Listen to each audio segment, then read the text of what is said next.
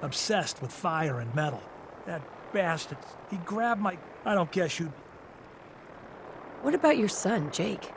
You don't care what happens to him? I didn't raise my boys to be raiders. As far as I'm concerned, he's dead to me. Can you tell me anything else about the Forged? They're led by a guy named Slag. Came in from outside of the Commonwealth a few months back and started recruit. Mostly they've just been strong-arming folks. But with how quick they've been